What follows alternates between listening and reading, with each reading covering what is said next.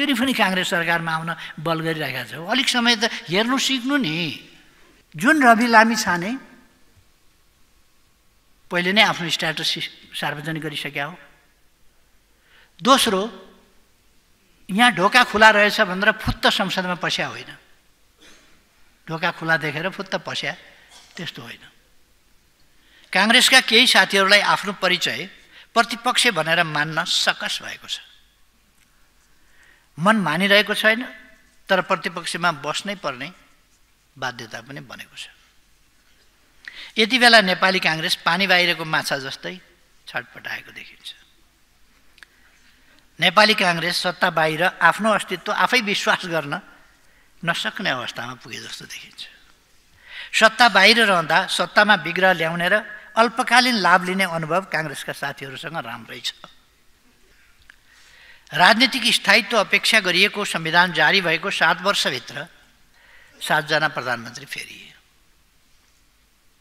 हामीले राजनीतिक स्थायित्वको अपेक्षा साथ नयाँ संविधान जारी गऱ्यौँ तर स्थायित्व कस्तो भने वर्षमा एउटा प्रधानमन्त्री। हाम्रो चाहना प्रयास र खोजी स्थिरता र स्थायित्वको रह्यो तर हाम्रो प्राप्ति भने सधैँ अस्थिरता र अनिश्चितताको हुन पुग्यो। सरकारका उप प्रधानमन्त्री तथा गृहमन्त्री र यस सम्मानित सभाका जनताबाट अत्यधिक मत प्राप्त भएर विजय भएर आएका सांसद रवि लामी छाने को सम्बन्धमा भ्रष्टाचार नगर्ने हुन नदिने र भ्रष्टाचार भएमा त्यस उप निर्मम र कठोरतापूर्वक कारवाही गर्ने यस सरकारको प्राथमिकता हो।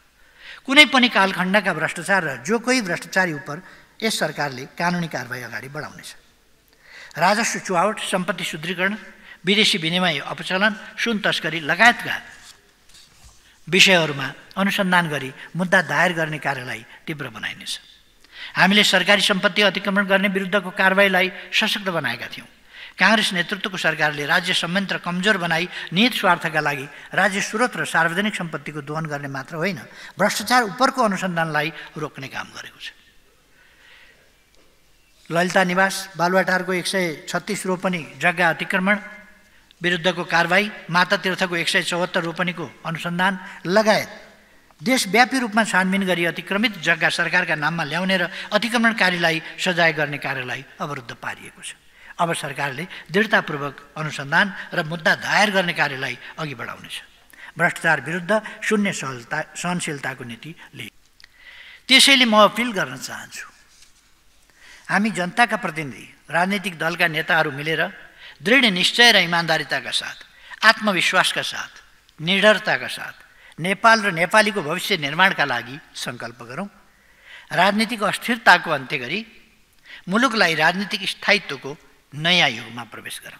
सम्मान्य पूर्व प्रधानमन्त्रीज्यूले बोल्दा न्यूनतम साझा कार्यक्रमको बारेमा बोल्नुभयो। यो संसद चलिरहेको छ सभामुख महोदय। चलेका दिनदेखि न्यूनतम साझा कार्यक्रमको अनुहार रूप र कागज हामीले देख्न पाएका छैनौँ। त्यसैले कुनै वार्तालीमा ल्याएको कार्यक्रम यहाँ प्रस्तुत नगरियोस् भनेर अनुरोध गर्न चाहन्छु। धन्यवाद। बसौ मान्यज्यू। नेपाली कङ्ग्रेस कहिले कहिले प्रधानमन्त्रीभन्दा अगाडि विपक्षी दलको नेताले बोल्न पाउनुपर्छ भनेर वेलमा आएको पनि दृष्टान्त छ। सभामुखमा यस्तो उहाँहरू गरिराख्नुहुन्छ घरिघरि। अनौठो कुरा होइन रवि लामी छानेसँग मेरो कुनै न सङ्गठनात्मक न वैचारिक केही पनि संलग्नता छैन नाता सम्बन्ध पनि केही पर्दैन। मेरो पार्टीको पनि होइन। तर एउटा नागरिकको हैसियतले राज्यले नागरिकलाई प्रोटेक्सन गर्नुपर्छ। यदि संविधान र कानुनको अफेन्स गर्यो उल्लङ्घन गर्यो त्यसबाट कहीँ कतै क्षति पुग्न गयो भने नागरिकलाई पनि रोक्नुपर्छ। कुनै व्यक्तिका समूहका संस्थाका राज्यका कुनै हक अधिकारमाथि उल्लङ्घन भयो भने त्यो उल्लङ्घन गर्न पाइँदैन संविधान मिच्न पाइँदैन। मिचेर केही अपराधिक क्रियाकलाप गर्न पाइँदैन। लोकतन्त्र भनेको काङ्ग्रेसको पर्याय हो। काङ्ग्रेस सत्तामा गएपछि सबै लोकतन्त्र हुन्छ भन्ने साथीहरूलाई त्यस्तो भ्रान्त मान्यता पनि छ नेपाली काङ्ग्रेसले निर्वाचनमा बुथ कब्जा गरेर तोडफोड गरेर आतङ्क सिर्जना गरेर प्रलोभनमा पारेर विदेश पठाइदिउँला भनेर बिना ढेवा भनेर के के भनेर हुन्छ? अड्डा खोलेर कार्यालय खोलेर अरू पनि त्यसमा मिसिया हुन सक्छन्। विदेश पठाइदिउँला भनेर झुक्क्याएर काङ्ग्रेसलाई भोट दियो भने मात्रै योजना पर्छ। सुनिएकै कुरा हो यो बनावटी कथा होइन सुनिएकै कुरा। अथवा जे जस्ता छलकपट गरेर भए पनि चुनाव जित्नुपर्छ। किनभने काङ्ग्रेसले जित्यो भने लोकतन्त्र हुन्छ। यो म भनिरहेको छैन। उहाँहरूकै अभिव्यक्ति नीति र व्यवहारले यस कुरालाई सार्वजनिक गरिरहेछ। सभामुख महोदय वर्तमान सरकार नयाँ जनादेशको जगको यथार्थमा बनेको जननिर्वाचित सरकार हो। त्यसैले म सिङ्गो सदनलाई आश्वस्त पार्न चाहन्छु आम नेपालीलाई विश्वस्त रहन आग्रह गर्दछु राष्ट्र समृद्ध बनाउने र जनतालाई सुख दिने काम हामी सम्पन्न गर्छौँ। यसमा सबै ढुक्क रहन चाहिएको के हो त? चाहिएको त देशको विकास हो गरिबी निवारण हो सुशासन हो भ्रष्टाचार नियन्त्रण हो हो त्यही चिज अहिलेको सरकारले गर्छ। विदेशमा रहेका नेपालीहरूको सन्दर्भमा हामी मतदानको अधिकार भन्दैछौँ।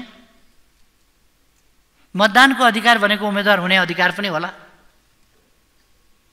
मतदानको अधिकार हुन्छ भने उम्मेदवार हुने अधिकार पनि हुन्छ। उम्मेदवार हुने अधिकार हुन्छ भने हामी पासपोर्ट भिसा नागरिकता अथवा पिआर के के को छानबिन गर्छौँ त्यो त्यो बिचमा? आधिकारिक ढङ्गले बोल्यो। सरकार बोले चाहिँ बोल्यो भनेर। एउटा पोलिटिकल लिडरले पोलिटिकल पोलिसीहरू धर्मर भएर एउटा गीतमा जाउँ कता जाउँ जाउँ कता जाउँ भने जस्तो कता जाउँ कता जाउँ गरेर बोल्दैन क्लियर कट धारणाका साथ बोल्छ। र मैले पनि हामीले गरेको न्यूनतम साझा नीति कार्यक्रम तथा सम्माननीय प्रधानमन्त्रीज्यूले केही दिन अगाडि यसै रोस्टमबाट जुन प्रतिबद्धता खुलस्त राख्नुभएको छ ऊ त्यही कुरा समेतलाई आधार बनाएर जनशक्तिको गम्भीर दुरुपयोग भएको विषयमा तत्काल छानबिन गरिनेछ। राष्ट्र सेवकहरू पनि निर्धक्क साथ कानुन बमोजिम राष्ट्र सेवा र जनसेवामा लाग्नुपर्दछ कर्तव्यच्युत भएमा त्यसको दुष्परिणाम एक न एक दिन बिहोर्नु पर्दछ भन्नेतर्फ सदा सचेत रहनुपर्दछ वैदेशिक अनुदान सतहत्तर अठहत्तरमा रु छत्तिस अरब थियो भने अठहत्तर उनासीमा आधाले घटेर रु अठार अरबमा सीमित भएको छ। आर्थिक वृद्धि दर लक्ष्यको तुलनामा ज्यादै न्यून छ मूल्य वृद्धि आकाशिएको छ।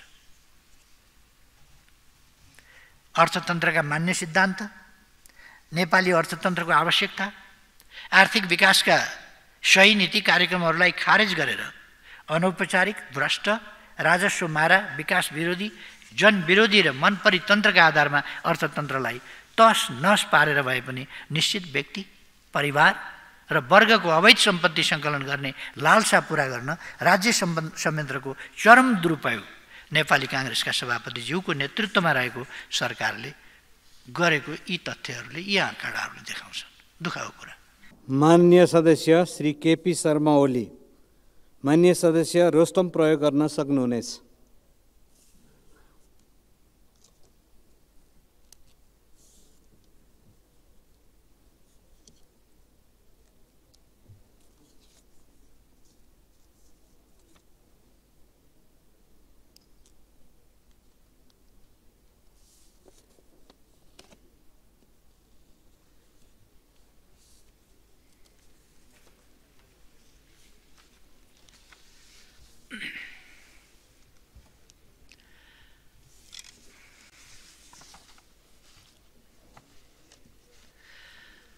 सम्माननीय सभामुख महोदय हामी सत्तारूढ राजनीतिक दलहरूले देश र जनताको हितका लागि संविधानको रक्षा र सफल कार्यान्वयनका लागि समझदारी सहकार्य र साझा गन्तव्य तय गरेका छौँ।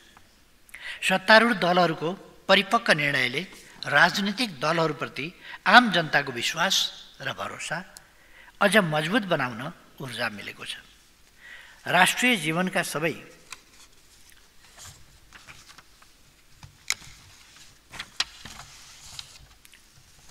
राष्ट्रिय जीवनका सबै क्षेत्रमा उत्साह सञ्चारित भएको छ।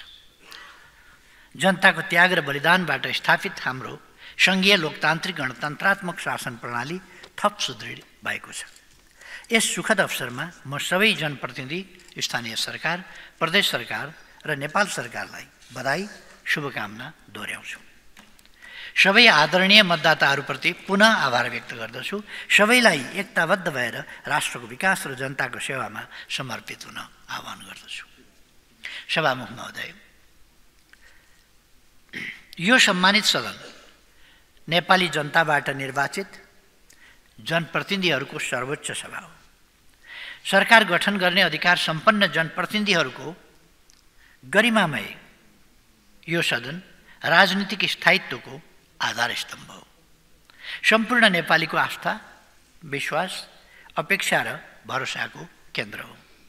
देशलाई दिशा निर्देश गर्ने र जनता समक्ष हामीले गरेका प्रतिज्ञा सङ्कल्प र प्रतिबद्धता कार्यान्वयनको निर्णायक मञ्च हो।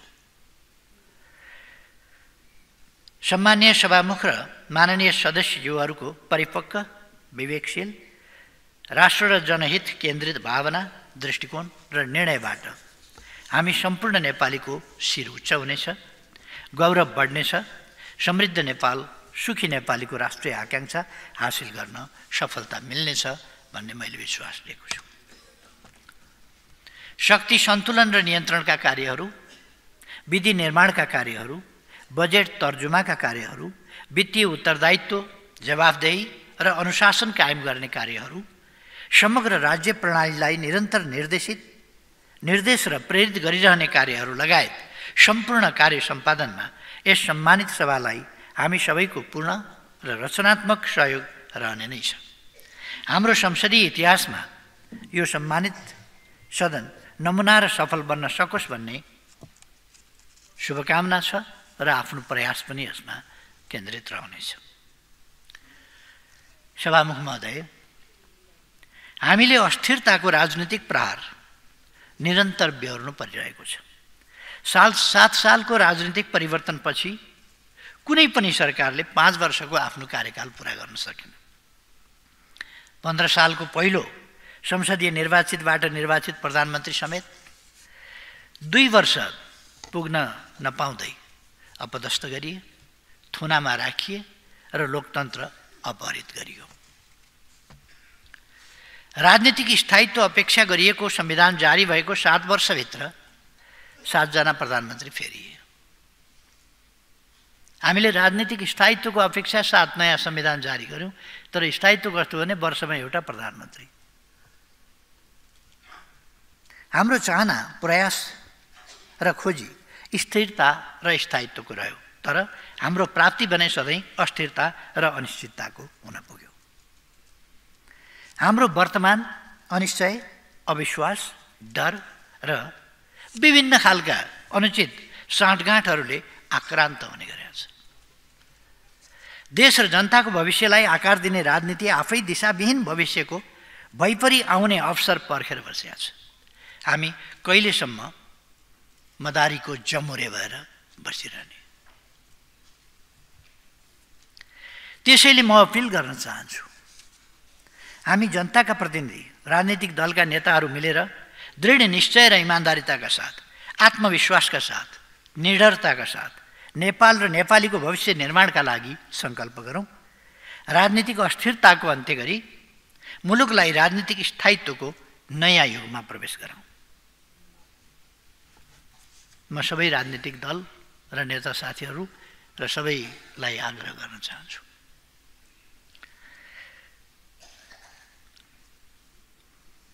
राष्ट्रियता र राष्ट्रिय एकताको सवालमा सार्वम सत्ता अखण्डता स्वाधीनता स्वाभिमानको सवालमा न्यायोचित राष्ट्रिय हितहरूको सवालमा लोकतन्त्र स्वतन्त्रता अवसर समानता समावेशी विकास सुशासन र सामाजिक न्याय समित सहितको समृद्धिको सवालमा। अभाव गरिबी विपन्नताको दुश्चक्रबाट सर्वसाधारण नेपालीलाई बाहिर ल्याउने सवालमा राष्ट्रिय सामर्थ्य र शक्ति राष्ट्र र जनहितका लागि सदुपयोग गर्ने सवालमा। अर्थतन्त्रको सबलीकरण गर्ने विकासको गतिलाई तीव्रता दिने सेवा प्रवाहमा व्यापक सुधार ल्याउने सवालमा। यस्ता विषयहरूमा राष्ट्रिय सहमति कायम गरौँ। यसका लागि नेकपा एमाले जस्तोसुकै योगदान गर्न तयार छ। राष्ट्रिय सहमति हुनुपर्ने यस्ता कुरामा हो। हामी जसरी पनि सरकार बनाउने सत्ता लेप्सामा कहिल्यै रहेनौँ थिएनौँ। यही मानसिकताका साथ हामी प्रतिपक्षमा बस्न तयार भएका थियौँ। सरकार गठन गर्न काङ्ग्रेसमा असाधारण रुचि र व्याग्रता देखिन्थ्यो। काङ्ग्रेसको स्वभावअनुसार हामीले यसलाई सामान्य रूपमा ल्याएको थियौँ तर प्रतिपक्ष मानसिकताका साथ काङ्ग्रेस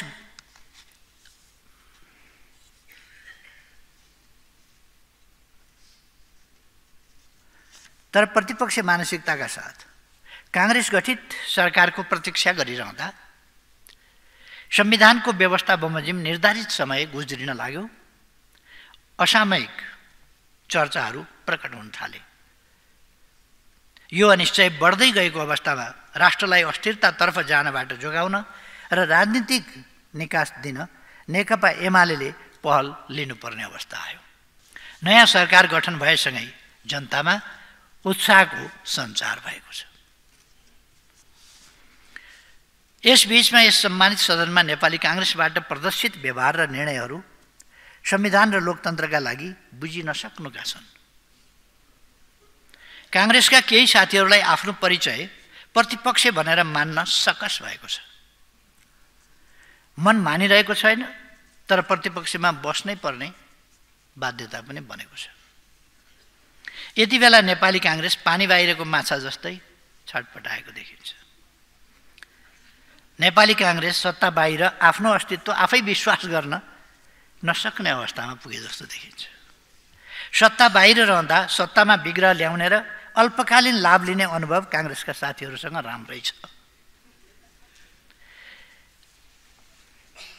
मेरा मित्र नेपाली काङ्ग्रेसका सभापति तथा संसदीय दलका नेता उहाँलाई म आग्रह गर्न चाहन्छु सभामुख महोदय यहाँ मार्फत हामी बृहत्तर राष्ट्रिय हितमा काम गरौँ। मेरो आग्रह छ राजनीतिक स्थायित्वका लागि योगदान गरौँ। अनिश्चय र अस्थिरताको बिउ स्वयंका लागि प्रत्युत्पादक हुन सक्छ भन्ने बुझौँ। कोही पनि जालन्धर नबनौँ। स्वस्थानीको सिजन छ नि कम्तीमा पनि दुई हजार बाहन्न साल अन्ठाउन्न साल र दुई हजार बहत्तर सालका अनुभवहरू यस्ता अनेक अनुभवहरू हामीसँग छन्। अब राष्ट्रलाई अस्थिरतातर्फ धकेल्ने चिन्तनबाट कसैको पनि हित हुँदैन। हित हुन्छ केवल धमिलो पास पानीमा माछा मार्न पल्केकाहरूको। लोकतन्त्र कुनै व्यक्ति वा दल विशेषको लागि होइन। नेपाल र सम्पूर्ण नेपालीको हितका लागि हुनुपर्दछ। अब आम नागरिक धेरै सचेत भइसकेका छन्। भन्ने कुरातर्फ ध्यान आकर्षण गराउन चाहन्छु। लोकतन्त्र बहुदलीय प्रतिस्पर्धात्मक राजनीतिक प्रणाली सङ्घीय गणतन्त्रात्मक शासन व्यवस्था आवधिक निर्वाचन शक्ति पृथकीकरण सन्तुलन र नियन्त्रण स्वतन्त्र न्यायालय मानव अधिकार मौलिक हक जस्ता आम नागरिकका सर्वाधिक चासो र प्राथमिकताका सार्वभौम विषयहरूको बुझाइ आदर्श सिद्धान्त र व्यवहारमा हुने र गर्न खोजिने दोहोरो परिभाषा र विरोधाभासलाई स्वीकार गर्न सकिँदैन। निहित छद्म स्वार्थका लागि देश जनता र लोकतन्त्रका आधारभूत विषयहरूको दुरुपयोगका लागि गरिने ओकालत अब मान्य हुन सक्दैन। सभामुख महोदय लोकतन्त्रमा जनअभिमत अनुसार आवधिक रूपमा सरकार परिवर्तन हुनसक्छ लोकतन्त्रमा प्रतिपक्ष सुरक्षित हुन्छ र हुनुपर्छ। भिन्न मत राख्ने स्वतन्त्रता हुन्छ हुनुपर्छ। आज को छ को छैन प्रतिपक्ष सत्तापक्ष भन्ने कुरा होइन यी आम मान्यताका कुरा हुन्। लोकतन्त्रमा प्रतिपक्ष सुरक्षित हुन्छ र हुनुपर्छ। भिन्न मत राख्ने स्वतन्त्रता हुनुपर्छ हुन्छ र हुनुपर्छ। वैधानिक र जेन्युन अथवा स्वस्थ प्रतिस्पर्धा गर्ने अवसर हुन्छ र हुनुपर्छ। कानुन प्रदत्त स्पेस सबैलाई हुन्छ र हुनैपर्छ। सहअस्तित्वको सम्मान हुन्छ हुनुपर्छ। सत्ता पक्षले दम्ब राख्न हुँदैन राख्दैन राख्न हुँदैन। दमनकारी अन्यायपूर्ण र अनुचित क्रियाकलाप गर्दैन गर्नु हुँदैन। प्रतिपक्ष र सत्तापक्ष राष्ट्र र जनहितका लागि केन्द्रित भएर परिचालित हुने प्रणाली नै लोकतन्त्र हो।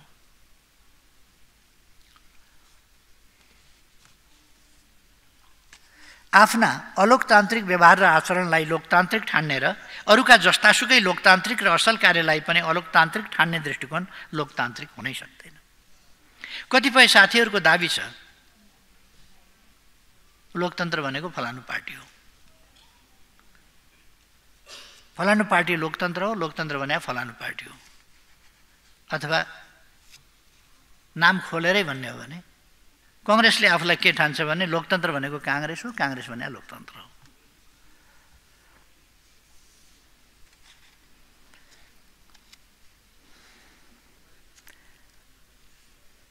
लोकतन्त्र भनेको काङ्ग्रेसको पर्याय हो। काङ्ग्रेस सत्तामा गएपछि सबै लोकतन्त्र हुन्छ भन्ने साथीहरूलाई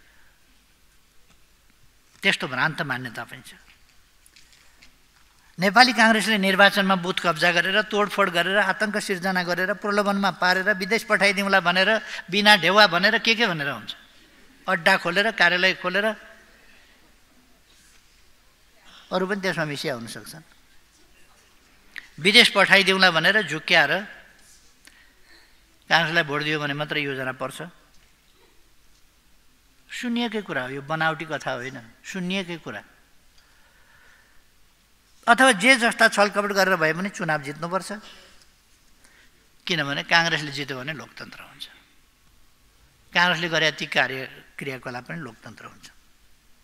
सभामुख महोदय यसलाई हामी लोकतन्त्रको मान्य परिभाषा स्वीकार गर्न सक्छौँ र यो त राजनीतिक आदर्श नीति मूल्य मान्यताको स्खलन हो।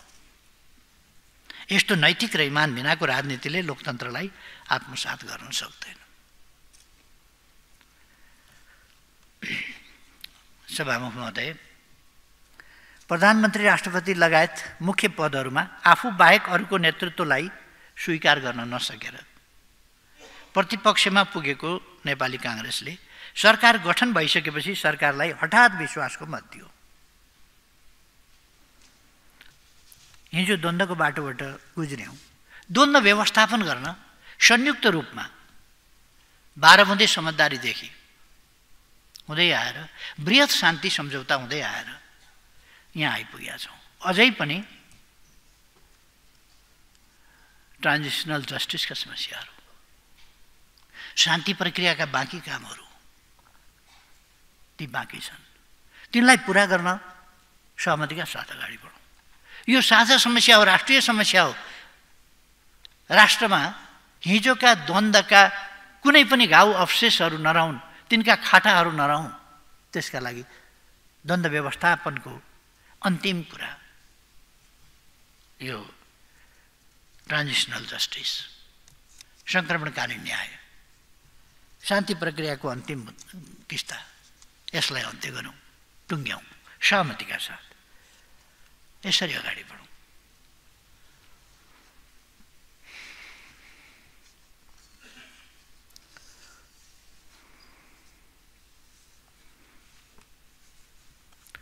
सधैँ सत्तामा रहने जस्तोसुकै बाटो र विधि अप्नाएर सत्ता लिने नीतिलाई लोकतन्त्र भन्न सकिँदैन।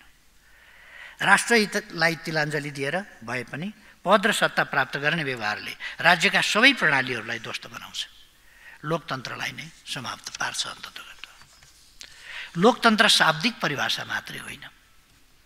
यो जीवन पद्धति हो। यो कम्प्रिहेन्सिभ अथवा परिपूर्ण हुनुपर्छ राष्ट्रको समग्र विकास र उपलब्धिहरूमा सम्पूर्ण नेपालीहरूको हिस्सेदारी हुनुपर्छ। उनीहरूको पहुँच हुनुपर्छ त्यसमा। त्यसको उपभोग उनले पनि गर्न पाउनुपर्छ। म काङ्ग्रेसका साथीहरूलाई भन्न चाहन्छु लोकतन्त्रको संरक्षणका लागि सबैलाई समान अधिकार समान अवसर उत्तिकै सुरक्षा उत्तिकै सम्मान सहितको परिपूर्ण लोकतन्त्रको अभ्यास गरौँ। म विश्वस्त छु हाम्रो राजनीतिलाई यस दिशामा अगाडि बढाउन यस सम्मानित सदनको भूमिका ऐतिहासिक महत्त्वको हुनेछ। हामी सदनमा छौँ सबै पार्टीहरू। हामीले साँच्चै लोकतन्त्र। कहिले हामीमा परिपक्वता बोलाउने त? कहिले हामीले साँच्चैको लोकतान्त्रिक अभ्यास गर्ने त? कहिले हामीले मूल्यको राजनीति गर्ने त? कहिले हामीले देश र जनतापट्टि इमान्दार भएर राजनीति गर्ने त? अब पनि नथाल्ने हो भने त्यसकारण अब नयाँ ढङ्गले अगाडि बढौँ भन्ने म आग्रह गर्न चाहन्छु। सम्मान्य सभामुख महोदय समस्याग्रस्त अर्थतन्त्रको पहिलो दुष्प्रभाव सर्वसाधारण नागरिकमा पर्छ र लोकतन्त्रमै पर्छ। नागरिकमा पर्नुको अर्थ लोकतन्त्रमा पर्छ। प्रमुख आर्थिक परिसूचकहरूले नेपाली अर्थतन्त्रमा अविलम्ब विशेष सुधारको आवश्यकता देखाएका छन्। मुद्रास्फीति आर्थिक वर्ष सतहत्तर अठहत्तरमा नेकपा एमाले सरकारबाट बाहिरिँदा छ दशमलव छ तिन दशमलव छ शून्य प्रतिशत रहेकोमा। अहिले उनासी असीको मङ्सिर मसान्तमा सात दशमलव तिन आठ प्रतिशत पुगेको छ। छ प्रतिशतभन्दा माथिको मुद्रास्फीति अर्थतन्त्रमा नकारात्मक र खतरनाक मानिन्छ। अठहत्तर उनानब्बेको एक आर्थिक वर्षमा आयात दुई सय सत्तालिस प्रतिशतले बढेर रु उन्नाइस सय बिस अरब पुगेको छ। निर्यात वृद्धि दर चौतिस दशमलव छ एक प्रतिशत ऋणात्मक रहेको छ। चालु खाता बढेर चालु खाता घाटा बढेर रु सैतिस दशमलव नौ एक अर्ब पुगेको छ। शोधनान्तर बचत एमाले सरकारबाट बाहिरिँदा आर्थिक वर्ष सतहत्तर अठहत्तरमा रु एक सय तेइस अर्बले बचत थियो भने अहिले घटेर रु पैँतालिस दशमलव आठ सात अर्बमा खुम्चिएको छ। यी आँकडाले बताएको कुरा हो। विदेशी विदेशी विनिमय सञ्चिति घटेको छ। राजस्व वृद्धि सतहत्तर अठहत्तरमा सोह्र प्रतिशतले धनात्मक रहेकोमा यस आर्थिक वर्षको मङ्सिरसम्मको तथ्याङ्क हेर्दा लक्ष्यभन्दा रु एक खर्ब सैँतिस अर्ब तेइस करोडले कम सङ्कलन भएको छ। यो राजस्व प्रशासनमा आजसम्म कहिल्यै नभएको ठुलो अन्तर हो। उनासी साल पौष दस गतेसम्मको पुँजीगत खर्च करिब दस प्रतिशतमा सीमित छ। वैदेशिक अनुदान यो लगभग छ महिनाको स्थिति। वैदेशिक अनुदान सतहत्तर अठहत्तरमा रु छत्तिस अरब थियो भने अठहत्तर उनासीमा आधाले घटेर रु अठार अरबमा सीमित भएको छ। आर्थिक वृद्धि दर लक्ष्यको तुलनामा ज्यादै न्यून छ मूल्य वृद्धि आकाशिएको छ। अर्थतन्त्रका मान्य सिद्धान्त नेपाली अर्थतन्त्रको आवश्यकता आर्थिक विकासका सही नीति कार्यक्रमहरूलाई खारेज गरेर अनौपचारिक भ्रष्ट राजस्व मारा विकास विरोधी जनविरोधी र मनपरी तन्त्रका आधारमा अर्थतन्त्रलाई तस नस पारेर भए पनि निश्चित व्यक्ति परिवार र वर्गको अवैध सम्पत्ति सङ्कलन गर्ने लालसा पुरा गर्न राज्य संयन्त्रको चरम दुरुपयोग नेपाली काङ्ग्रेसका सभापतिज्यूको नेतृत्वमा रहेको सरकारले गरेको यी तथ्यहरूले यी आँकडाहरूले देखाउँछन्। दुःखको कुरा।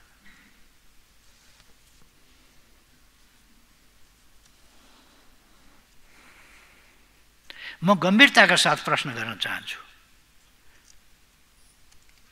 जुन सरकारले यस्तो स्थितिमा पुर्याउँछ नि अनि त्यसको जिम्मा लिनु पर्दैन। त्यसरी दुरुपयोग गर्न मिल्छ राष्ट्रिय सम्पत्ति? गम्भीर विषय होइन। के यो नितान्त छलफल बहस बहसको आदान प्रदानको विषय हो र? मान्छेको गरिबी बढ्दो छ बहसले हुन्छ मान्छे खान नपाएर भोकै मर्दो छ बहसले तर्कले पेट भर्छ तर्कले आङ ढाकिन्छ तर्कले उद्योग खुल्छ तर्कले उद्योग सञ्चालित हुन्छ। उद्योगहरू बन्द हुँदा छ औद्योगिक क्षेत्र बिजनेस सेक्टर आतङ्कित छ आज। त्यस स्थितिबाट सही बाटोमा आजको सरकारले अहिले नवनिर्मित सरकारले यसलाई अगाडि बढाउनु छ।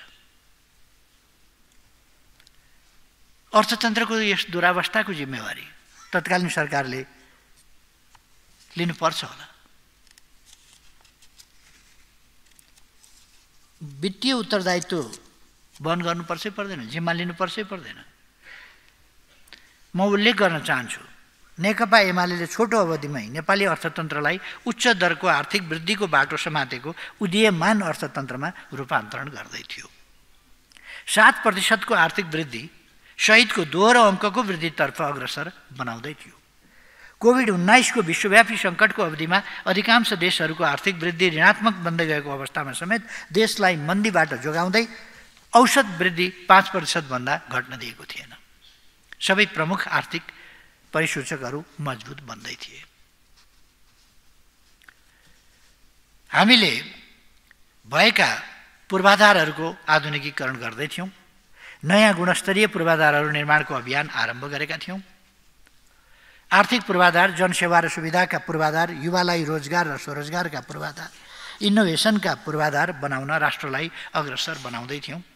संरचनाको बहुउपयोग जमिन लगायत सम्पूर्ण स्रोतको सदुपयोग र सम्पूर्ण नेपालीको क्षमताको सदुपयोगको माध्यमबाट हुने राष्ट्रिय सफलताको लाभ सबै नेपालीले लिन सक्ने र पाउने सुनिश्चितता गर्दैथ्यौँ राष्ट्रिय आयमा अभूतपूर्व वृद्धि ल्याउने स्पष्ट भिजन कार्यक्रममा आयोजनासहित अर्थतन्त्रलाई ड्राइभ गर्दैथ्यौँ आर्थिक समृद्धिको यो तीव्र गतिमा पूर्णविराम लगाई अवरोध पुर्याई सङ्कटा सङ्कटापन्न बनाएको जिम्मा सरकारको नेतृत्व गर्ने दलले लिनुपर्छ पर्दैन।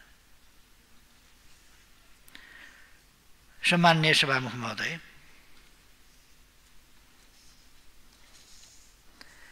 काङ्ग्रेसमा विद्वान साथीहरू हुनुहुन्छ। उहाँहरूले देश विकास र जनसेवाका लागि अघि सारिएका रूपान्तरणकारी योजना नीति योजना कार्यक्रम आयोजनाहरू सम्भव नै छैन गर्न सकिन्न गर्नु पनि हुँदैन भनेर धारणा राख्नुभएकै हो राख्नुभएकै छ।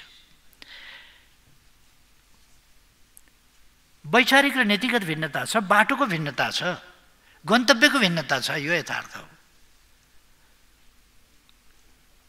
काङ्ग्रेसले देश विकास देखेको पनि छैन मलाई लाग्छ सोचिया पनि छैन पढेको पनि छैन। यो म भनिरहेको छैन। उहाँहरूकै अभिव्यक्ति नीति र व्यवहारले यस कुरालाई सार्वजनिक गरिरहेछ। सभामुख महोदय वर्तमान सरकार नयाँ जनादेशको जगको यथार्थमा बनेको जननिर्वाचित सरकार हो। त्यसैले म सिङ्गो सदनलाई आश्वस्त पार्न चाहन्छु आम नेपालीलाई विश्वस्त रहन आग्रह गर्दछु राष्ट्र समृद्ध बनाउने र जनतालाई सुख दिने काम हामी सम्पन्न गर्छौँ। यसमा सबै ढुक्क रहन चाहिएको के हो त? चाहिएको त देशको विकास हो गरिबी निवारण हो सुशासन हो भ्रष्टाचार नियन्त्रण हो हो त्यही चिज अहिलेको सरकारले गर्छ। त्यस कारण यो सरकार सकारात्मक सरकार बनेको छ र यो सरकारलाई तलमाथि पार्ने कोसिस गर्नु लोकतन्त्रको पक्षमा पनि छैन जनताको हितको पक्षमा पनि छैन र अर्को कुनै वैकल्पिक शक्ति राम्रो काम गरेको कुनै दृष्टान्त भएको वैकल्पिक शक्ति पनि छैन। हुन्छ नि हामीले यो गऱ्यौँ भनेर देखाउने। हामीले यो गरेका छौँ हाम्रा नीतिको श्रेष्ठता यो छ व्यवहारको श्रेष्ठता यो छ यसमा हामी उत्कृष्ट छौँ भन्ने अर्को कुनै दल छैन।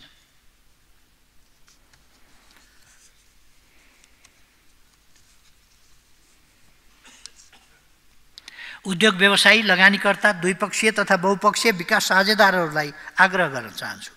यस सरकारले अर्थतन्त्रलाई तत्काल सही दिशामा अगाडि बढाउँछ यसका निम्ति कदमहरू चाल्न प्रारम्भ गरिसकेका छ अर्थतन्त्रका विभिन्न आयामहरूमा देखा परेका समस्या प्रब्लम महसुस भएको तनाव स्ट्रेस र बेहोर्नु परेको चाप प्रेसरलाई यथाशीघ्र सम्बोधन गर्नेछ। अर्थतन्त्रमा मुख्य रूपमा यी तिनवटा कुरा भनिन्छन्। अर्थतन्त्रका प्रब्लम्स अर्थतन्त्रको स्ट्रेस र अर्थतन्त्रको माथिको प्रेसर यी चिजहरूलाई सम्बोधन गर्न अहिलेको सरकारले प्रारम्भ गरिसकेको छ। अर्थतन्त्रलाई गतिशील बनाउनेछ। प्रमुख आर्थिक परिसूचकहरूलाई मजबुत बनाउनेछ। अर्थतन्त्रका सबै क्षेत्रहरूमा उत्साहका साथ आर्थिक क्रियाकलापमा विस्तार ल्याउन अनुकूल वातावरण निर्माण गर्नेछ। सार्वजनिक निजी र सहकारी क्षेत्रलाई एक अर्काको प्रवर्धकका रूपमा र राष्ट्रिय विकासको इन्जिनका रूपमा परिचालन गर्नेछ। यी तिनवटै क्षेत्रको परिचालनबाट राष्ट्रिय सम्पत्तिको सिर्जना र वृद्धिका लागि अनुकूल वातावरण बनाउनेछ। सरकारले राजस्व प्रशासनमा कर परिपालना र स्वच्छताको पहल लिइसकेको छ। सरकारले उद्योग व्यवसायीको उद्यमशीलतालाई प्रवर्धन गर्नेछ। कर तिर्नेले गर्व गर्ने र सङ्कलित राजस्व देश र नागरिकको हितमा प्रयोग हुने ग्यारेन्टी गर्नेछ। यो कुरा म हाम्रो साझा नीतिगत प्राथमिकता र न्यूनतम कार्यक्रमको आधारमा भनिरहेको छु कि हाम्रो गठबन्धनको प्राथमिकता यो छ। सभामुख महोदय। के भन्न खोज्नु भएको के हो? के आपत्ति हो? मेरो एउटा नियम एउटा? एउटा कुरामा आपत्ति धारा के अरे यो नियावली प्रतिनिशा नियम दुई हजार पचहत्तरको पच्चिस अनुसार छब्बिस अनुसार नियमावली छ हुँदै सम्मान्य पूर्व प्रधानमन्त्रीज्यूले बोल्दा न्यूनतम साझा कार्यक्रमको बारेमा बोल्नुभयो। यो संसद चलिरहेको छ सभामुख महोदय। चलेका दिनदेखि न्यूनतम साझा कार्यक्रमको अनुहार रूप र कागज हामीले देख्न पाएका छौँ त्यसैले कुनै वार्तालीमा ल्याएको कार्यक्रम यहाँ प्रस्तुत नगरियोस् भनेर अनुरोध गर्न चाहन्छु। धन्यवाद। बसौँ मान्यज्यू। नेपाली कङ्ग्रेस कहिले कहिले प्रधानमन्त्रीभन्दा अगाडि विपक्षी दलको नेताले बोल्न पाउनुपर्छ भनेर वेलमा आएको पनि दृष्टान्त छ। सभामुखमा यस्तो उहाँहरू गरिराख्नुहुन्छ घरिघरि। त्यो अनौठो कुरा होइन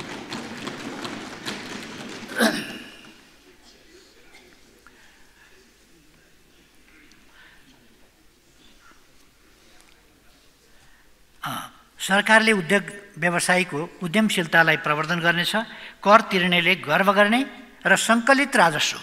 देश र नागरिकको हितमा प्रयोग हुने ग्यारेन्टी गर्नेछ।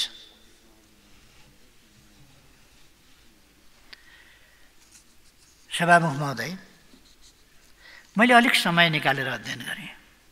संविधान कार्यान्वयन र विकास निर्माणका क्षेत्रमा नेकपा एमाले नेतृत्वको सरकारको करिब तिन वर्ष अवधिमा के के काम गरिएछ र मेरा मित्रको नेतृत्वको नेतृत्वमा बनेको सरकारको अवधिमा के के कामहरू भएछन् यो छलफलको अन्त्य होइन फेरि पनि छलफल गर्न सकिन्छ। फेरि पनि छलफल गर्न तयार छु म छलफल गर्न सकिन्छ। नेकपा एमाले नेतृत्वको सरकारले करिब तिन वर्षको अवधिमा संविधान कार्यान्वयनका लागि दुई वर्षभित्रै उनानब्बे नयाँ ऐन निर्माण गर्यो। दुई सयभन्दा बढी ऐनहरूमा संशोधन गर्यो। पचासभन्दा बढी नियमावलीहरू तर्जुमा गर्यो। पचासभन्दा बढी निर्देशिका कार्यविधि र मापदण्ड बनायो। नत्र भने संविधान कार्यान्वयन गर्न सकिँदैन थियो संविधान अनु अनुकूल कानुन नयाँ कानुनहरूको निर्माण गर्न आवश्यकता थियो र पुराना कानुनहरूलाई संविधानसँग मिल्दो गरी बनाउन जरुरी थियो। त्यसकारण ती कामहरू भए। सङ्घ प्रदेश र स्थानीय तहको सङ्गठनात्मक संरचना बनायो भौतिक पूर्वाधार निर्माण गर्दै स्रोत साधन जुटायो वित्तीय हस्तान्तरणका लागि राजस्व बाँडफाँडको विस्तृत आधार ढाँचा र कार्यविधि तर्जुमा गर्यो जनशक्तिको विन्यास र समायोजन सम्पन्न गर्यो। एक हजार दुई सय बाह्र स्वदेशी र नौ सय त्रिहत्तर विदेशी उद्योग दर्ता भए लगानी बोर्ड मार्फत रु चौध खर्ब र उद्योग विभाग मार्फत रु एक खर्बको लगानी प्रतिबद्धता प्राप्त भयो। खाद्यान्न बाली माछा मासु दुध अन्डा र तरकारीको उत्पादनमा मुलुक लगभग आत्मनिर्भरताको स्थितिमा पुग्यो। आयात तेह्र प्रतिशतले घटाइयो र पच्चिस निर्यात पच्चिस प्रतिशतले बढाइयो। नेपालको इतिहासमा यो सजिलो कुरा होइन। तर यस्ता सकारात्मक कामहरू आयात घटाउने र निर्यात पच्चिस प्रतिशतले वृद्धि हुने सानो कुरा होइन हाम्रो नेतृत्वमा सुरु गरिएको प्रधानमन्त्री कृषि आधुनिकीकरण परियोजनाको कार्यान्वयनलाई तीव्रता दियो। कृषि भूमिलाई पकेट ब्लक जोन र सुपर जोनका रूपमा विकास गरी कृषिको आधुनिकीकरण व्यावसायिकीकरण र यन्त्रीकरण गरी कृषिको उत्पादन र उत्पादकत्व वृद्धि गर्न डिजिटल सोयल म्यापिङ प्रारम्भ गरियो। किसान सूचीकरणको कार्य अघि बढाइयो। हामी औद्योगिकरणको आधार तयार गर्दैथ्यौँ धौवादी फलाम खानीबाट फलामको परीक्षण उत्पादन सुरु गरिसकेका थियौँ। सिमरा गार्मेन्ट उद्योग प्रशोधन केन्द्रका साथै पूर्वाधार तयार भइसकेको थियो। बहुमूल्य पत्थर प्रशोधन उद्योग स्थापनाले पूर्णता पाउँदै थियो। दैलेखमा पेट्रोलियम परीक्षणको काम हुँदै थियो। आठ औद्योगिक क्षेत्र विशेष आर्थिक क्षेत्र र चौहत्तर औद्योगिक ग्राम स्थापनाको पूर्वाधार तयार भइसकेको थियो। अन्तर्राष्ट्रिय व्यापारका पूर्वाधार विकास हुँदै थिए। व्यापार लागत घट्दै थियो। चोबारमा अन्तर्राष्ट्रिय प्रदर्शन स्थल सहितको सुक्खा बन्दरगाह निर्माण गरेका थियौँ। दशकौँसम्म चर्चामा रहेको भारतको मोतिहारदेखि नेपालको अम्लेखगञ्जसम्मको पेट्रोलियम पाइपलाइनको निर्माण सत्र महिनामा सम्पन्न गरेका थियौँ। मित्रराष्ट्र चिनसँग सातवटा बन्दरगाह प्रयोग र मित्रराष्ट्र भारतसँग आन्तरिक जलमार्ग हुँदै पानी जहाज सञ्चालनका लागि सहमति भइसकेकाले द्विपक्षीय तथा अन्तर्राष्ट्रिय व्यापारको ढोका अझ व्यापक बनेको थियो खुले खुलेको थियो। भूकम्पले क्षेत्रविच्छेद संरचनाको निर्माण शून्य अवस्थामा थियो। आवश्यक ऐन नियम कार्यविधि र मापदण्ड तर्जुमा गर्ने सङ्गठन निर्माण गर्ने जनशक्ति व्यवस्था गर्ने आन्तरिक तथा बाह्य स्रोत जुटाउने तयारी पुरा गरिएको थियो। सात लाख अन्ठाउन्न हजार सात सय त्रियानब्बे निजी आवास छ हजार चार सय सत्तालिस विद्यालय भवन सात सय एकाउन्न स्वास्थ्य संस्था पाँच सय छयत्तर छयासी पुरातात्विक सम्पदाको निर्माण गरिएको थियो। जोखिमपूर्ण बस्तीको पुनर्निर्माणका साथै महत्त्वपूर्ण भवनहरूको प्रबलीकरणको कार्य तीव्र गतिमा अगाडि बढाइयो एक आर्थिक वर्षमा दस किलोमिटरका दरले कालोपत्र कालोपत्रे सडक निर्माण गर्ने इतिहास भएको हाम्रो जस्तो देशमा प्रतिदिन पाँच किलोमिटरभन्दा बढीका दरले कालोपत्र सडक निर्माण गरियो। पाँच हजार पाँच सौ किलोमिटर कालोपत्रे सडक निर्माण गरिसकेका थियौँ। नौ सय पन्ध्र सडक पुल एक हजार चार सय तेइस झोलुङ्गे पुल तयार गरेका थियौँ। प्राविधिक तथा भौगोलिक दृष्टिले अनुपयुक्त बाहेक सबै तोइनलाई झोलुङ्गे पुल तथा पक्की पुलले विस्थापन गरेका थियौँ। पूर्व पश्चिम राजमार्ग चारदेखि छ लेनसम्म विस्तार सुरु गरेका थियौँ। काठमाडौँ, निजगढ, दूर्तमार्गको निर्माण कार्यले गति लिँदै थियो। मध्य पहाडी पुष्पलाल, मदन भण्डारी, कोशी गण्डकी र कर्णाली करिडर राजमार्गहरू पाँच वर्षभित्र सम्पन्न गर्ने लक्ष्यका साथ निर्माण भइरहेका थिए। हुलाकी राजमार्ग लेन विस्तारका साथै सम्पन्नताको नजिक पुग्यो। निर्वाचन क्षेत्र, रणनीतिक सडक तथा प्रदेश राजधानीसँग ओडा केन्द्र जोड्ने सडकको सञ्जाल अभियानकै रूपमा अघि बढाएका थियौँ। देशमा आधुनिक सुरुङ मार्ग र सिग्नेचर ब्रिजको निर्माण सुरु गरेका थियौँ। नागढुङ्गा नौबिसी सुरुङ मार्गको निर्माणको कार्य हामी सबैका सामु छर्लङ्ग छ। पूर्व पश्चिम विद्युतीय रेलमार्गको कतिपय खण्डको डिपिआर तयार भई निर्माण प्रारम्भ गर्दैथ्यौँ काठमाडौँ वीरगञ्ज र रसुवागढी काठमाडौँ पोखरा लुम्बिनी रेलमार्ग निर्माणको तयारी हुँदै थियो। अन्तर्देशीय र आन्तरिक जलमार्ग सञ्चालनको आधार तयार हुँदै थियो। जनता आवास कार्यक्रम मार्फत तेह्र हजार पचासी परिवारलाई सुरक्षित आवास उपलब्ध गराइसकेका थियौँ। फुस र खरको असुरक्षित छानामुनिका सात लाख परिवारलाई जस्ता पाताको सुरक्षित छानासहितको आवास सुविधा उपलब्ध भइसकेको थियो।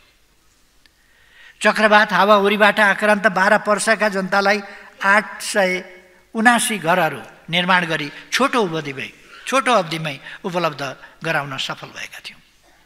जोखिमपूर्ण बस्तीका नेपालीहरूलाई एकीकृत सुरक्षित बस्तीमा स्थानान्तरणका लागि विशेष कार्यक्रम सञ्चालन गरिरहेका थियौँ। संसद भवन लगायत आवश्यक सरकारी भवनहरू र लुम्बिनीमा पाँच हजार क्षमताको र गोदावरीमा तिन हजार क्षमताका ठुला सभाहरूको निर्माण सम्पन्न भएको कुरा हामी सबैका आँखा अगाडि छ। सबैलाई गुणस्तरीय खानेपानी उपलब्ध गराउँदै थियौँ। कठिन अवस्थामा रहेका परिवारलाई खानेपानी नि शुल्क वितरण गर्न सुरु गरेका थियौँ। दशौँदेखि सम्पन्न हुन नसकेको मेलम्ची खानेपानी आयोजनाका धेरै बाँकी काम विभिन्न अवरोधका बिच सम्पन्न गरेका थियौँ। सोही आयोजनाको दोस्रो चरणको कार्य पनि अघि बढाएका थियौँ। ऊर्जा सङ्कटबाट गुज्रेको देशलाई लोड सेडिङबाट मुक्त गऱ्यौँ। प्रति व्यक्ति विद्युत खपत एक सय दस किलोवाट घन्टाबाट बढेर दुई सय साठी किलोवाट घन्टा पुर्याएका थियौँ। तिन सय तेत्तिस मेगावाट थप विद्युत उत्पादन भई वितरणमा ल्याएका थियौँ भने चार सय छप्पन्न मेगावाट थप विद्युत उत्पादन भई वितरणको तयारी अवस्थामा पुर्याएका थियौँ। विद्युत निर्यात सुरु गर्न सम्पूर्ण तयारी पुरा गरेका थियौँ। विद्युत तार भूमिगत गर्दै थियौँ प्रसारण लाइन निर्माणले गति लिँदै थियो। सम्पूर्ण सेवा तथा कार्यहरू सूचना प्रविधिको माध्यमबाट सञ्चालन गर्ने अभियान सफल पार्न डिजिटल नेपाल फ्रेमवर्क कार्यान्वयनमा ल्याएका थियौँ। शून्यको स्थितिबाट सतहत्तर जिल्लामा फोर जी सेवा विस्तार भएको थियो। स्पेसमा आफ्नै सेटेलाइट स्थापनाको हाम्रो अधिकार सुरक्षित गरी सूचना प्रविधिमा असाधारण सुधार ल्याउने आयोजना आरम्भ गर्दैथ्यौँ एउटा सानो न्यानो भन्ने सानो सेटेलाइट पुगेर पनि केही समय काम गरेर पनि आयो। इन्टरनेट र मोबाइलको पहुँच विस्तार भएको थियो। भूमि व्यवस्थामा रहेको समस्या समाधान गर्न र भूमिहीन सुकुम्बासी अव्यवस्थित बसोबासी मुक्त कमैया मुक्त हलियाहरूलाई आवास र रोजगारीको व्यवस्था मिलाउन सतहत्तर जिल्लामा आयोग गठन गरी कार्य अघि बढाइएको थियो। उपयोगिताका आधारमा भूमिको वर्गीकरण गरी भू उपयोग योजनाको आधारमा भूमिको प्रयोग गर्ने व्यवस्था कार्यान्वयनमा ल्याउँदै थियौँ। वृक्षारोपण र संरक्षणको अभियान चलाएका थियौँ। तिन करोडभन्दा बढी बिरुवा उत्पादन गरी वृक्षारोपणको कार्य अघि बढिरहेको थियो। दुई हजार पाँच सय वनमा आधारित साना तथा घरेलु उद्योग थप खुलेका थिए। काठको आयात तिस प्रतिशतले घट्दै थियो।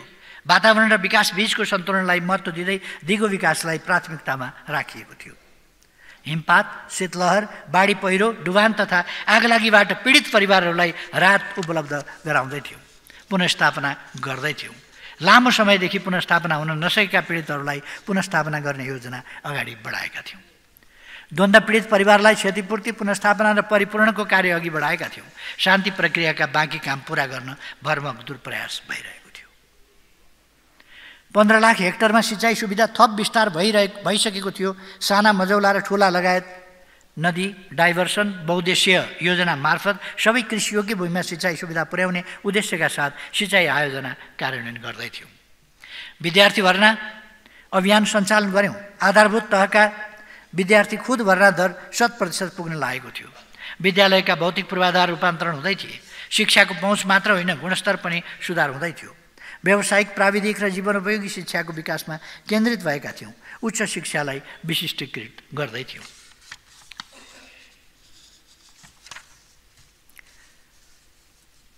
यति बेला सुनकोशी मरिन डाइभर्सन जस्ता एक लाख पचासी हजार बिघा जमिन तराईको सिँचाइ हुने आयोजनाहरूदेखि लिएर यस्ता अनेकौँ आयोजनाहरूको मैले यहाँ धेरै चर्चा गरेको छैन। थुप्रै आयोजनाहरूको। सभामुख महोदय सिङ्गो विश्व नै अनभिज्ञ रहेको कोभिड उन्नाइस विरुद्धको लडाइँ सजिलो थिएन। पहिला जनताको जीवन रक्षाको नीति लियौँ। रोजगार रोकथाम नियन्त्रण र उपचारका लागि सम्पूर्ण राज्य संयन्त्र स्रोत र साधनहरू परिचालन गऱ्यौँ। परीक्षण सुविधा देशमै उपलब्ध गरायौँ। पहिले परीक्षण सुविधै थिएन एउटा पनि त्यसको परीक्षण गर्न सक्ने ल्याब थिएन। पहिलो टेस्ट हामीले हङकङ पठाएर गरेका थियौँ। त्यसपछि हामीले देशभरि सयौँ ठाउँमा परीक्षण ल्याबहरू स्थापना गऱ्यौँ डेडिकेटेड अस्पताल अक्सिजन प्लान्ट भेन्टिलेटर बेड सङ्ख्या चिकित्सक स्वास्थ्यकर्मीहरू औषधि उपकरण खोप छिटोभन्दा छिटो उपलब्ध गराउँदै सामाजिक तथा स्वास्थ्य चेतना विस्तार गर्दै महामारीलाई नियन्त्रणमा ल्याउन सफल भयौँ। दक्षिण एसियामा कोभिड उन्नाइस विरुद्धको खोप लगाउन सुरु गर्ने दोस्रो देश नेपाल हुन सफल भयो। हामी उत्पादक होइनौँ खोपका तर हामीले जो गऱ्यौँ र खोप पुर्यायौँ जनता समक्ष। जनताको स्वास्थ्य अर्थव्यवस्था र सामाजिक संरचनालाई जोगाई पुनः समृद्धितर्फ केन्द्रित बनाउँदै थियौँ। जनस्वास्थ्यका भौतिक तथा मानवीय पूर्वाधारमा स्तरोन्नति र विकास गर्दै थियौँ। अठाइस जिल्लामा सीमित स्वास्थ्य बिमालाई पैँसठी जिल्लामा पुर्याइसकेका थियौँ। ज्येष्ठ नागरिक स्वास्थ्य बिमा निशुल्क गर्दै थियौँ। डायलाइसिस मुटुको रोग लगायतका कतिपय रोगको उपचारमा राहत र अनुदान उपलब्ध गराउन सुरु गरेका थियौँ। देशभित्रै रोजगारीका अवसर सिर्जना गर्दै थियौँ। प्रधानमन्त्री रोजगार कार्यक्रम अन्तर्गत त्यसमार्फत सरकारले न्यूनतम एक सय दिनको रोजगारी ग्यारेन्टी गरेको थियो। वैदेशिक रोजगारी व्यवस्थित भन्दै थियो। नियन्त्रण बाहिरको परिस्थितिले रोजगारी गुम्न गएको अवस्थामा अस्थायी राहत पुर्याउन र श्रमिकको आर्थिक भविष्य सुरक्षित गर्न योगदानमा आधारित सामाजिक सुरक्षा कार्यक्रम कार्यान्वयनमा ल्याएका थियौँ। अशक्त आश्रयविहीन मनोसामाजिक रोगी फरक क्षमता भएका तथा बेसहारा व्यक्तिहरूको संरक्षण र रोजगारीका कार्यक्रमहरू सञ्चालन गर्दै थियौँ। एसिड आक्रमण बलात्कार तथा महिला हिंसा विरुद्धका सबै अपराधहरू निर्मूल गर्ने हाम्रो अभियान थियो। त्यसका निम्ति हामीले कानुनी र व्यवहारिक रूपमा अनेक ठोस कदमहरू चालेका थियौँ।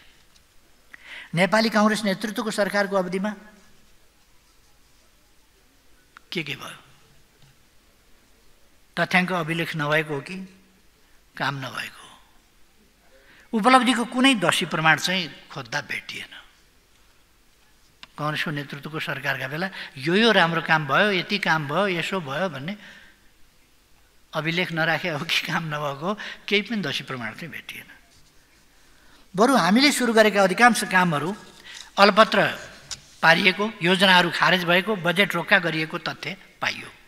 देश र जनताका लागि सुरु भएका ती कार्यहरू दुई वर्षसम्ममा सम्पन्न भइसक्ने वा अधिकांश कार्य सम्पन्न हुने र राष्ट्र आधुनिक बन्ने योजना अलपत्र पारेको जिम्मा कसले लिने?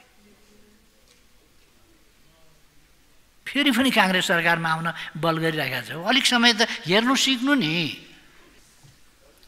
ती आयोजनाहरू सञ्चालन गर्न समय र लागतमा वृद्धि भएको क्षतिपूर्ति कसले बेहोर्ने? देश र जनतालाई पर्ने प्रतिकूल प्रभावलाई कसरी कम्पेन्सेट गर्ने? सभामुख महोदय यसको जवाब कुराको जवाफले के गर्ने र काम बर्बाद भइसक्यो।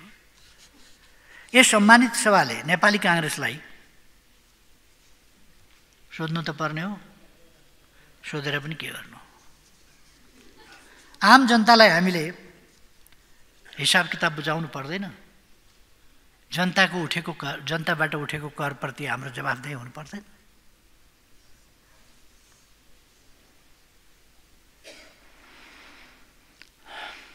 यी कुराहरूले जे बताउने तथ्यहरूले बताएको छ।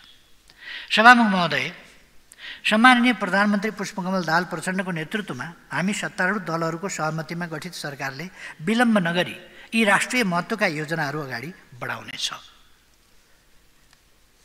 सम्पन्न गर्नेछ। यस जननिर्वाचित सरकारले देशलाई गरिबी र पछौटेमानबाट मुक्त गर्नेछ। उच्च दरको आर्थिक वृद्धि हासिल गर्नेछ। आधुनिक क्षमतामूलक र समृद्ध समाजको विकास गर्नेछ। जनताको जीवनस्तरमा सुधार ल्याउनेछ। जनसेवालाई सर्वसुलभ गुणस्तरीय प्रभावकारी र न्यायोचित बनाउनेछ। हाम्रो सभ्यताको पुनरुदय पुनरुदय गर्नेछ। अन्तर्राष्ट्रिय प्रतिष्ठालाई शिखरमा पुर्याउनेछ। बढीमा दस वर्षभित्र यस राष्ट्रलाई विकासशील हुँदै अति विकसित विकसित राष्ट्रमा पुर्याउने लक्ष्यका साथ काम गर्नेछ। यी सबै अविष्टहरूको एउटै नाम हामीले समृद्ध नेपाल सुखी नेपाली राखेका छौँ। यो हामी सबै नेपालीको राष्ट्रिय आकाङ्क्षा हो र हुनुपर्दछ। हामी नेपाली हामी ने म नेपाली काङ्ग्रेसका साथीहरूलाई आश्वस्त पार्न चाहन्छु। दस वर्ष दस वर्षभित्र हामी देशलाई विकसित बनाउँछौँ। कसरी बनाउँछौँ हेर्नुहोस् न अलिक समय। सभामुख महोदय भ्रष्टाचार नगर्ने हुन नदिने र भ्रष्टाचार भएमा त्यस उप निर्मम र कठोरतापूर्वक कारवाही गर्ने यस सरकारको प्राथमिकता हो। कुनै पनि कालखण्डका भ्रष्टाचार र जो कोही भ्रष्टाचारी उप यस सरकारले कानुनी कारवाही अगाडि बढाउनेछ। राजस्व चुहावट सम्पत्ति शुद्धिकरण विदेशी विनिमय अपचलन सुन तस्करी लगायतका विषयहरूमा अनुसन्धान गरी मुद्दा दायर गर्ने कार्यलाई तीव्र बनाइनेछ। हामीले सरकारी सम्पत्ति अतिक्रमण गर्ने विरुद्धको कारवाहीलाई सशक्त बनाएका थियौँ। काङ्ग्रेस नेतृत्वको सरकारले राज्य संयन्त्र कमजोर बनाई नियत स्वार्थका लागि राज्य स्रोत र सार्वजनिक सम्पत्तिको दोहन गर्ने मात्र होइन भ्रष्टाचार उपरको अनुसन्धानलाई रोक्ने काम गरेको छ। ललिता निवास बालुवाटारको एक सय छत्तिस रोपनी जग्गा अतिक्रमण विरुद्धको कारवाही माता तीर्थको एक सय चौहत्तर रोपनीको अनुसन्धान लगायत देशव्यापी रूपमा छानबिन गरी अतिक्रमित जग्गा सरकारका नाममा ल्याउने र अतिक्रमणकारीलाई सजाय गर्ने कार्यलाई अवरुद्ध पारिएको छ। अब सरकारले दृढतापूर्वक अनुसन्धान र मुद्दा दायर गर्ने कार्यलाई अघि बढाउनेछ। भ्रष्टाचार विरुद्ध शून्य सहलता सहनशीलताको नीति लिइनेछ।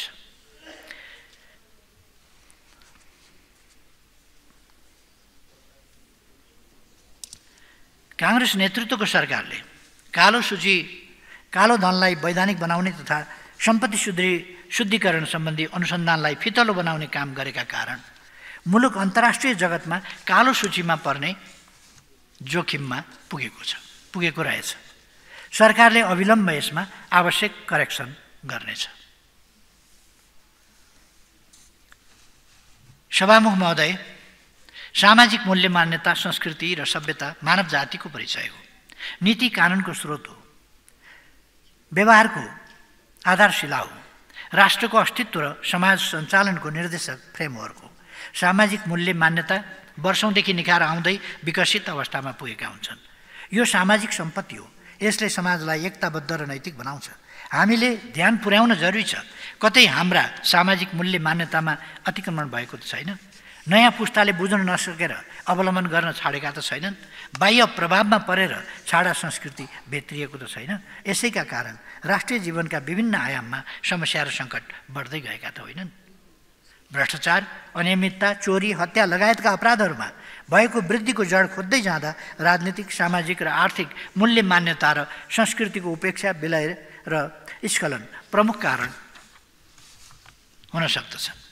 यसको समाधानका लागि हामीले समयमै संरक्षण प्रवर्धन र विकासका सुधारात्मक अभियानहरू थाल्न जरुरी छ। नयाँ पुस्ताको मनोविज्ञान र व्यवहारलाई सृजनशील नवप्रवर्तक र उद्यमशील बनाउने अभियानलाई यस सम्मानित सदनले दिशानिर्देश गर्ने मैले विश्वास लिएको छु। सभामुख महोदय काङ्ग्रेस नेतृत्वको सरकारले परराष्ट्र सम्बन्ध जस्तो सर्वाधिक महत्त्वको गम्भीर विषयमा विचलन ल्याउने काम गर्यो। सार्वभौम सत्ता अखण्डता स्वाधीनता र स्वतन्त्रताको वास्तविक अर्थमा अभ्यास गर्ने सामर्थ्य राखेन। सम्पूर्ण देशवासीलाई लज्जाबोध हुने परिदृश्य सञ्चार माध्यममा आए। अन्तर्राष्ट्रिय मञ्चहरूमा राष्ट्रको प्रतिनिधित्व कमजोर रह्यो। नवगठित सरकारले यो राष्ट्रिय क्षति र जनताको लज्जाबोधलाई अविलम्ब सच्याउँदै हाम्रो परराष्ट्र सम्बन्धलाई आत्मविश्वास पहिचान र सम्मानका साथ नयाँ उचाइमा पुर्याउनेछ। भौगोलिक अखण्डता सार्वभौम सत्ता स्वाधीनता र अर्थतन्त्रलाई थप मजबुत बनाउनेछ। सीमा सम्बन्धी विवादहरू समाधान गरी नेपाली भूमिको रक्षा गर्नेछ। द्विपक्षीय क्षेत्रीय तथा बहुपक्षीय मञ्चहरूमा नेपाल र नेपालीको हित वृद्धिका लागि सशक्त र प्रभावकारी भूमिका खेल्नेछ। विश्व शान्ति मानवता विकास र वातावरण तथा द्वन्द्वको शान्तिपूर्ण व्यवस्थापनका विषयमा अग्रणी भूमिका खेल्नेछ। सभामुख महोदय सार्वजनिक सेवा प्रवाहलाई आधुनिक सूचना प्रविधिमा आधारित यथाशक्य सेवाग्राहीको उपस्थिति आवश्यक नपर्ने बनाइनेछ इनलाइन प्रणालीलाई अनलाइन प्रणालीमा रूपान्तरण गरिनेछ सरकारी कर्मचारीहरूको मनोबल कमजोर पार्ने अनुचित व्यवहार गर्ने र विभिन्न गैर कानुनी प्रयोजनमा दुरुपयोग गर्ने काम सर्वत्र व्याप्त भएको सार्वजनिक भएका थिए जनशक्तिको जनशक्तिको गम्भीर दुरुपयोग भएको विषयमा तत्काल छानबिन गरिनेछ। राष्ट्र सेवकहरू पनि निर्धक्का साथ कानुन बमोजिम राष्ट्र सेवा र जनसेवामा लाग्नुपर्दछ कर्तव्यच्युत भएमा त्यसको दुष्परिणाम एक न एक दिन बिहोर्नु पर्दछ भन्नेतर्फ सदा सचेत रहनुपर्दछ सभामुख महोदय हामीले सबै विद्यालयमा विश्वविद्यालयमा नियमित र गुणस्तरीय अध्ययन अध्यापन सुनिश्चित गर्नु छ। सबै अस्पताल तथा स्वास्थ्य संस्थाहरूबाट सबै नागरिकहरूलाई स्वास्थ्योपचार औषधि र स्वास्थ्य चेतना अभिवृद्धिको ग्यारेन्टी गर्नु छ। सबैलाई स्वच्छ खानेपानी उपलब्ध गराउनु छ। सर्वसाधारण लगायत उपयोग उद्योगी व्यवसायीहरूलाई आवश्यक विद्युत निर्वाध उपलब्ध गराउनु छ। यातायात क्षेत्रलाई विश्वसनीय सुरक्षित र कम खर्चिलो बनाउनु छ। किसानहरूलाई समयमै मल बिउ र प्राविधिक सेवा उपलब्ध गराउनु छ। युवालाई स्टार्टअप बिजनेस साना उद्योगहरू सुरु गर्न आविष्कारहरू गर्न र ठुला व्यवसायतर्फ अग्रसर हुन अग्रसर हुन प्रोत्साहन गर्नु छ। महँगी नियन्त्रण गर्नु छ। आपूर्ति प्रणालीलाई व्यवस्थित गर्नु छ। नागरिकता र राजधानी लगायत सरकारी कार्यालयहरूबाट उपलब्ध गराउने सबै सेवाहरू छिटो कम खर्चिलो र अनलाइन प्रणालीबाट सम्मानजनक रूपमा उपलब्ध गराउनु छ। सर्वसाधारणलाई यी सेवाहरू पुर्याउन सरकारले चाल्ने कदममा यस गरिमामय सभाबाट दिशानिर्देश र थप प्रोत्साहन मिल्नेछ। सबै क्षेत्रबाट सरकारलाई सहयोग हुनेछ भन्ने कुरामा म विश्वस्त छु। कक्षा एकदेखि बाह्रसम्मका सामुदायिक विद्यालयहरूका विद्यार्थीहरूलाई आवश्यक पर्ने करिब दुई करोड अठासी लाख पाठ्य पुस्तकहरू भर्नाकै वखत त्यसको विद्यार्थीका हातमा पुर्याउने काम गर्नुपर्छ र त्यो पुर्याउँ। आगामी वर्ष बालीका लागि किसानहरूलाई आवश्यक पर्ने तिन लाख पच्चिस हजार टन युरिया एक लाख पचहत्तर हजार टन डिएपी करिब पच्चिस पैँतिस हजार पोटास गरी करिब पाँच लाख पैँतिस हजार टन रासायनिक मल भण्डारण गरी यस वर्षको वर्षे बाली लगाउनु अगाडि नै उपयुक्त समयमा आपूर्ति गर्ने प्रभावकारी व्यवस्था गरौँ। नेपाल एकीकृत व्यापार रणनीतिले पहिचान गरेका सम्भावनाका सोह्रवटा वस्तुहरू र उदीयमान सम्भावनाका वस्तुहरू समेतको उत्पादन तत्काल ठुलो परिमाणमा बढाई निर्यात वृद्धि गरी देशलाई पिरोलेको व्यापार घाटा कम गरौँ। वार्षिक श्रम बजारमा प्रवेश गर्ने करिब पाँच लाख जनशक्तिलाई लक्षित गरी रोजगारी सिर्जनामा लागौँ। उद्योग व्यवसायहरूका लागि अनुकूल वातावरण बनाऊ। कस्ट अफ बोरोइङ घटाऊ। सङ्क्रमणकालीन न्यायको बाँकी रहेको काम द्वन्द्वका पक्षहरू पीडित तथा अन्तर्राष्ट्रिय समुदायको समेत चासोलाई ध्यानमा राखी सम्पन्न गर्न विलम्ब नगरौँ। यसलाई सकेसम्म छिटै सम्पन्न गरौँ। न्यायालय यस्तो बनाऊ जसलाई सम्झेर हरेक नागरिकले त्यहाँ गएपछि मैले न्याय पाउँछु भन्ने विश्वास गरोस्।